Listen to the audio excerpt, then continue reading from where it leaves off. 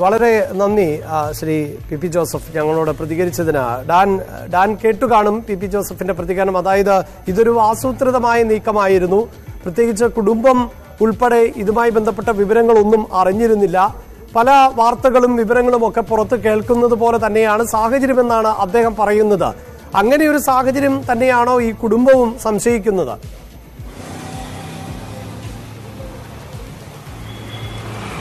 സ്വാഭാവികമായും അത്തരമൊരു സാഹചര്യത്തിലേക്ക് അല്ലെങ്കിൽ അത്തരത്തിലുള്ള സംശയങ്ങൾ ബലപ്പെടുത്തുന്ന ആ, പശ്ചാത്തലം ഉണ്ട് എന്നത് തന്നെയാണ് ഇത്തരം നിയമപരമായ വഴിയിലേക്ക് അല്ലെങ്കിൽ ഈ സഭാവിശ്വാസവുമായി ബന്ധപ്പെട്ട അല്ലെങ്കിൽ സഭാ നേതൃത്വവുമായി ബന്ധപ്പെട്ടൊക്കെ അതുമായി ബന്ധപ്പെട്ട പരാതികൾ ഉന്നയിക്കുന്നതിന് പകരം അടിയന്തരമായി തന്നെ നിയമ സഹായം തേടിയതിന് പിന്നിൽ കുടുംബത്തിന്റെ ഈ ആശങ്ക തന്നെയാണ് അതിന് പിന്നിൽ എന്നാണ് നമുക്ക് മനസ്സിലാക്കാൻ കഴിയുന്നത്. അതായത് തുടർച്ചയായി ഇത്തരം സംഭവങ്ങൾ വാർത്തകളിൽ മറ്റും കേട്ടതിന്റെ ഒരു ആശങ്ക ആ കുടുംബത്തിനുണ്ട്. ഏതെങ്കിലും വിധേന പെൺകുട്ടിയെ ഇവിടെ നിന്ന് കടത്തിക്കൊണ്ട് മറ്റേതെങ്കിലും വിദേശ രാജ്യത്തേക്ക് കൊണ്ടുപോകുന്നതിനുള്ള നീക്കം നടത്തുമോ ഈ മട്ടന്നൂർ സ്വദേശി. അതുകൊണ്ട് അത്തരമൊരു നീക്കം നടത്തുന്നതിന് മുൻപ് തന്നെ മകളെ അവിടെ നിന്ന് സ്വതന്ത്രയാക്കണം എന്ന ഒരു കൺസേണിലാണ് നിയമപരമായി ഹൈക്കോടതിയിലേക്ക് അടിയന്തരമായി ഈ ഹർജിയുമായി സമീപിച്ചത് എന്ന വിവരമാണ് നമുക്ക് ആ കുടുംബത്തിന്റെ ഭാഗത്തുനിന്ന് ലഭിക്കുന്നത്. എന്തായാലും കൃത്യമായൊരു ആസൂത്രണത്തോടെയാണ് തന്റെ മകളെ ആ ഹോസ്റ്റലിൽ നിന്നിങ്ങനെ വിളിച്ചുകൊണ്ട് പോയിരിക്കുന്നത്.